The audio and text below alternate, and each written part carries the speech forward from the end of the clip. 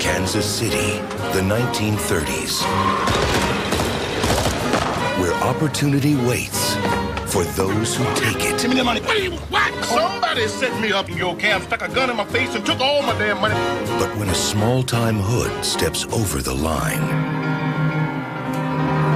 he crosses the wrong man. What am I going to do with you? I think of something.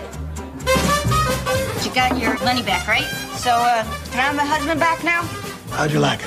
A sucker in a box. Don't you touch him! I'll kill you! Now, to win her husband's freedom, Keep your wife for insurance. If Johnny gets free, you get your wife back. If anything goes wrong, Your wife will wake up in a pile of dirt. Only she won't wake up, get it? A desperate wife will take a wealthy socialite hostage. Looks like I'm gonna have you on my hands for a while. Maybe you can stand the company?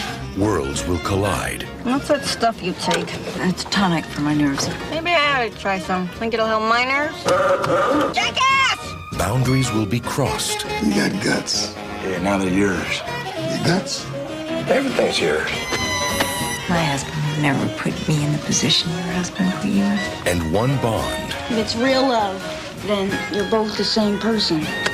We'll tie everyone together. Where do you think you will go after all this is over? Sooner or later, everybody got to go. Some sooner than others. Acclaimed director Robert Altman returns to the city of his youth for his most intimate film yet. Jennifer Jason Leigh, Miranda Richardson, Harry Belafonte,